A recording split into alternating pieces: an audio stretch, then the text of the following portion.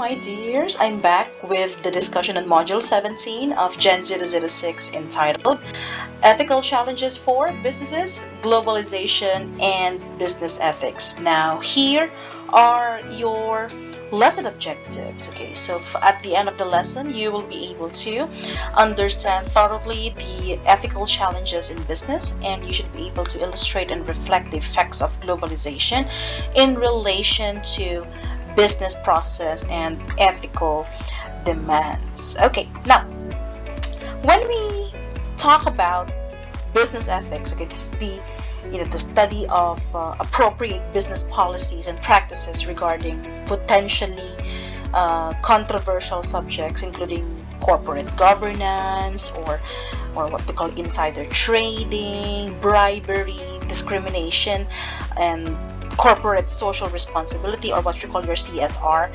and fiduciary responsibilities. Okay, the, the law often, you know, guides business ethics.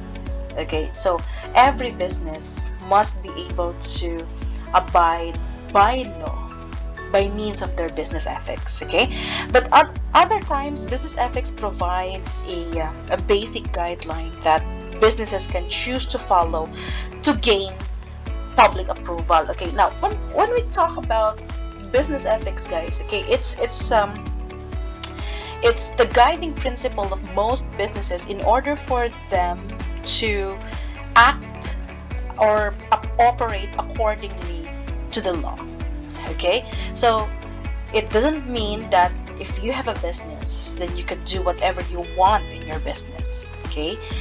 If you have a business then you have to have business ethics because this means that you are abiding by the laws of the land in order for you to be able to operate your certain operate a certain business okay?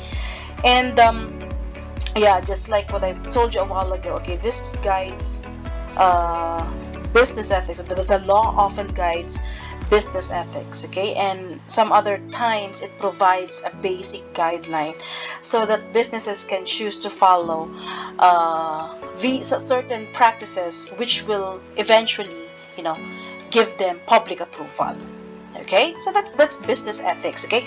This is a way for businesses to to abide by laws and at the same time for them to be able to gain public approval. If if if this, the, the public views a certain business as abiding by its business ethics code okay? So a lot of people will be able to patronize that certain business that you know maraming tatangkilik din sa business na yan because it follows certain ethical codes for business okay so if it's ethical then definitely that's legit.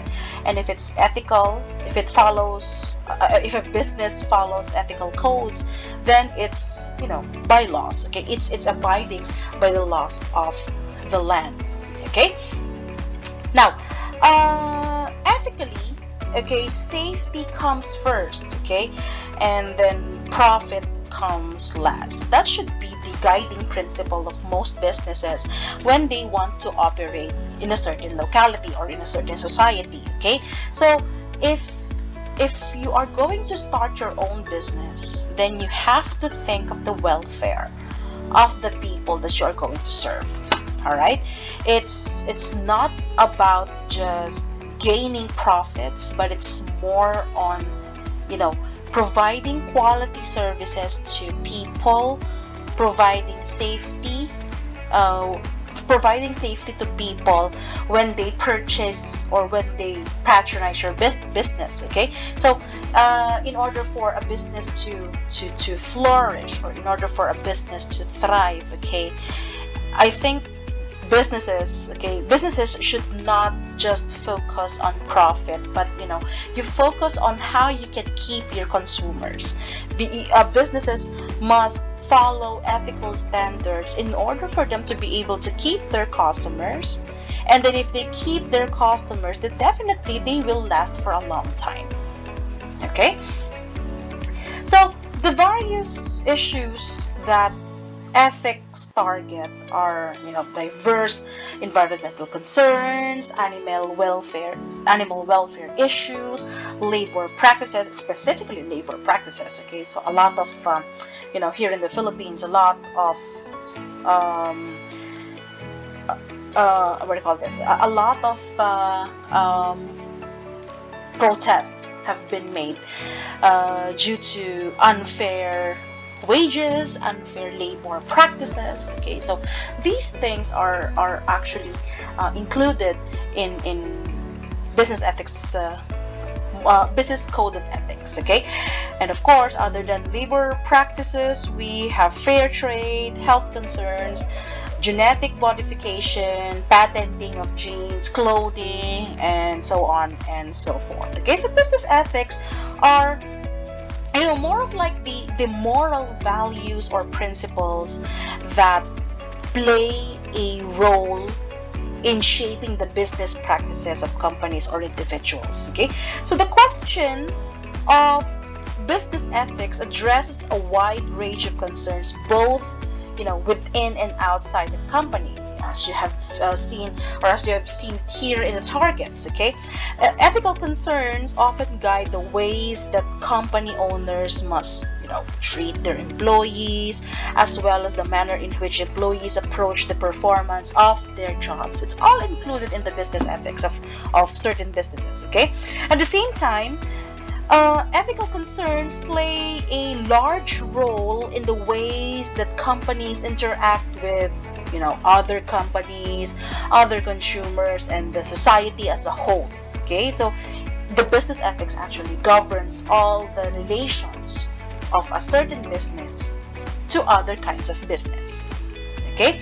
The business practices of companies inevitably have some sort of impact either you know positive or negative on the the, the world around them okay? So if a company's actions have a negative impact on others. Let's say, for example, when a company engages in unfair competitive practices to, to you know, drive rival companies out of business, or when a company creates a misleading marketing campaign to convince consumers to buy a product they do not need or that might actually be harmful, then the business ethics of that company can be viewed as questionable.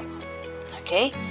So, in this case, all right, in this topic, okay, uh, we talk about business ethics as related to uh, globalization. Okay, so when we talk about globalization, this is the spread of products, okay, technology, information, and jobs, okay, across national borders and cultures okay? So in, in in economic terms okay it describes an interdependence of nations around the globe fostered through free trade all right?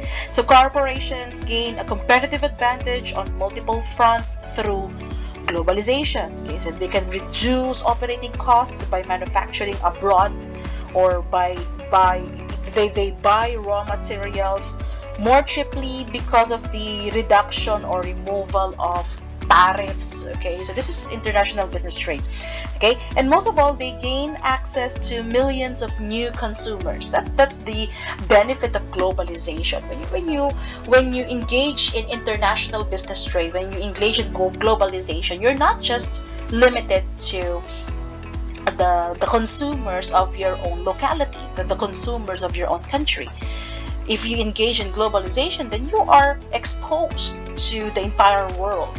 All right, and globalization, okay, is a social uh, as well as cultural, political, and a, uh, a legal phenomenon. Okay, socially because it leads to uh, greater interaction among various populations. if you go global, okay you're not just being exposed to the the your the, the people in your own country but you are also ex exposed your, your business is also exposed to uh, other nationalities in the international uh, in the international trade okay culturally globalization represents the exchange of ideas values and artistic expression among cultures okay so globalization also represents a trend towards the development of a single single world culture. Sabi nga nila, business daw, okay?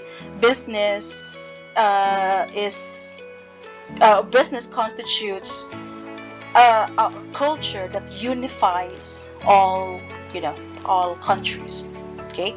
So that's the goal of globalization. It's to the it's to the development of a single world culture that you know uh, that, that that is equal to everybody that is you know accessible to everybody okay?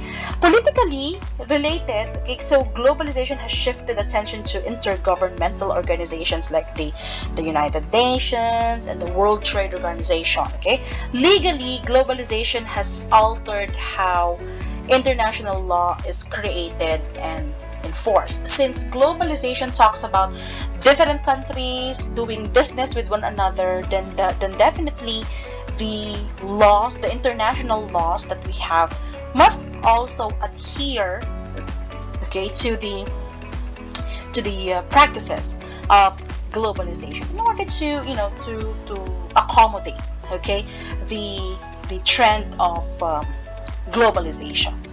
All right now for okay so now let's try to relate globalization okay so to, to ethical challenges. And for that, we're going to be discussing on the ethical influence of globalization on the uh, different stakeholders. Okay, so the ethical influence of globalization on stakeholders, business ethics propel the stakeholders of company towards higher level of performance. Okay, so globalization provides an enabling environment on this endeavor. Okay, so shareholders, employees, customers, suppliers, competitors, government, and civil society are considered as stakeholders of businesses. Okay, so uh, in this case, all right, so what are the uh, influences of globalization to the different stakeholders of businesses or, or the society. So in, in the case of the shareholders okay so ethical shareholders tend to take greater responsibility for the profitability of the company okay? So the, the major shareholders of the the, uh, the the company okay would think about the welfare of the whole company rather than their own shares okay? If you are an ethical shareholder you will take greater responsibility for the profitability of the company okay now, for the employees, okay, ethical conduct enables them to integrate their personal goals with goals of organization. Since you are an employee and you are working for a certain company, for example, okay, and and I think it's it's loyalty of the employee towards their company when they set their goals to the to the goals of the organization Okay? Since you're working there, eh, nagtatrabaho ka para sa organization na yan, then definitely your your your goals, your personal goals, because you're working for that company, your personal goals must be in line with the goals of the organization. Okay?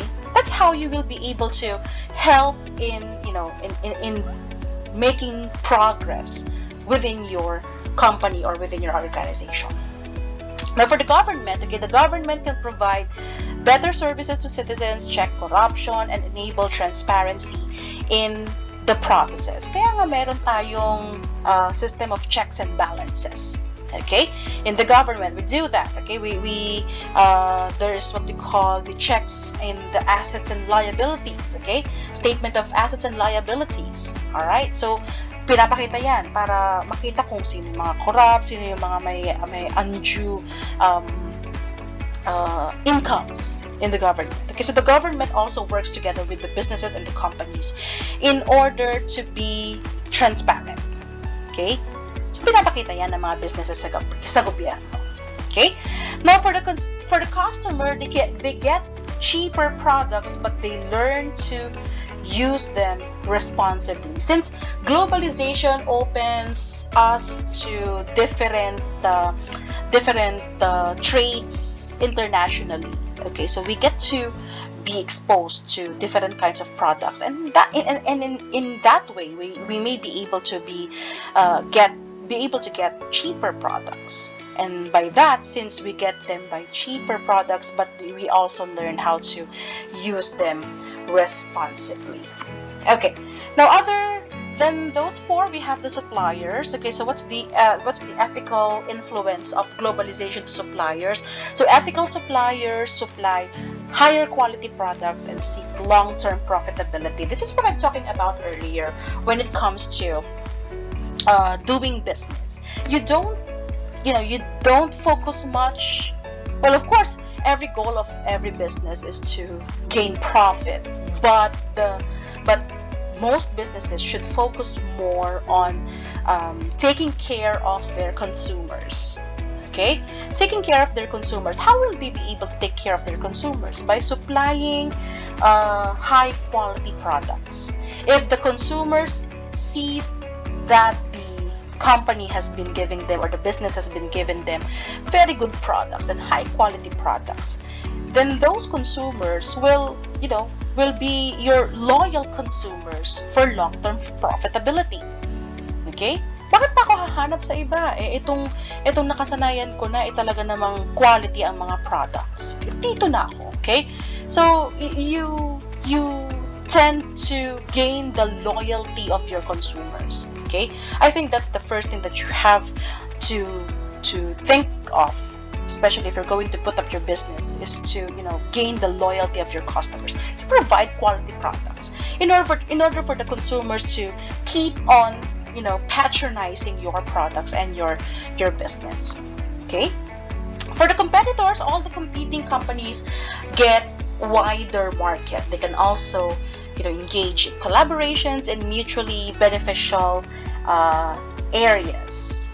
Okay and the society, the civil society is better aware of the problems of the populace and can rapidly take up issues with the pertinent authorities. Okay, so if, if the if the business is in line with the goals of the society, okay, then the people, okay, the members of the society will able will be able to help businesses, okay, in case certain problems may arise. Okay?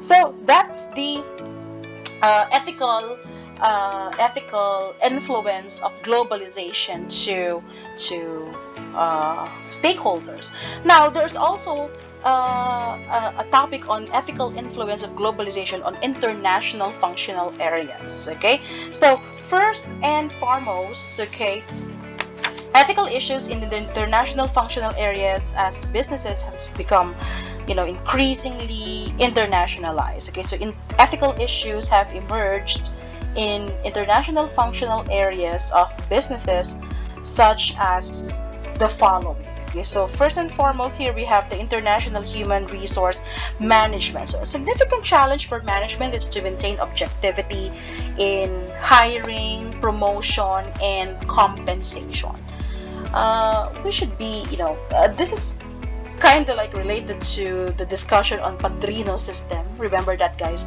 Okay, we're in uh, you uh, you, you parang ka, you hire someone because there's a connection between the two of you and you have a, you know they're asking for favors that's why you you you um, uh, give that favor to them because you you know each other okay? And for the international financial management, for long-term okay, sustainability, organizations should engage in ethical practices, fairness in trading practices, trading conditions, financial contracting, sales practices, consultancy services, tax payments, very very particular tayo sa BIR, okay? Intern internal audit, external audit eh, are the areas in which ethical financial practices need to be followed. Okay, so other than that, we have the international marketing. So the specific ethical issues are prudence of targeting vulnerable, vulnerable sections of consumption of redundant or dangerous products and services, transparency about source of labor, fair treatment and fair pay to employees, products or service transparency. Okay? Appropriate product labeling product service safety and liability truthful and honest advertising fair pricing and distribution forthrightness in selling Okay, and for the production, this area of business ethics deals with the duties of the company to ensure that products and production processes do not cause harm. Okay, there was a certain issue before, okay, we're in.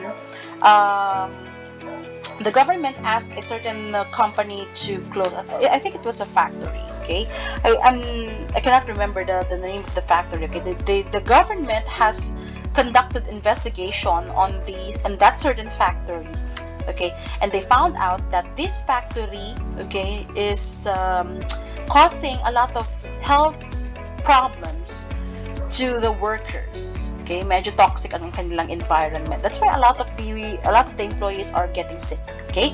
And based on their investigation a lot of the um, a lot of the employees have gotten sick okay to the point of hospitalization. That's why they you know the government has worked together with different agencies in order for that uh, factory to be closed okay?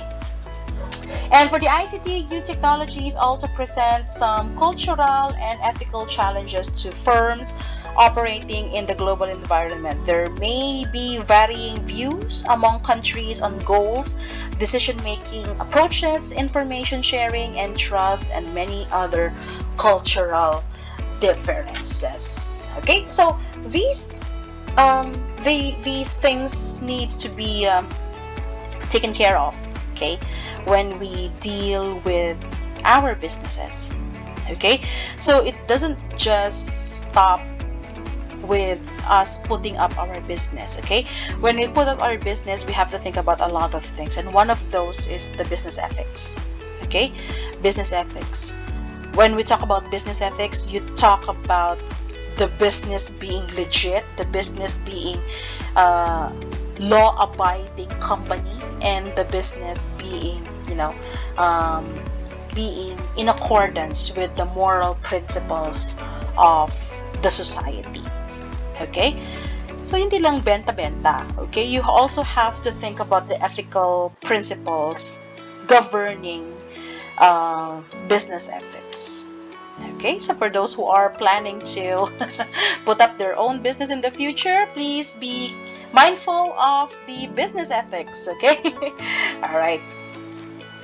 Okay so i think that uh, yeah, that ends my discussion on Module 17 of Gen 006 Ethics. Okay, so I hope you have learned a lot in our discussion. And if you have questions or things that need clarification, please don't hesitate to send me a message in my messenger. Okay, so now please don't forget to hit the like and subscribe button for more updates on our discussion on ethics. Thank you very much and have a great day ahead.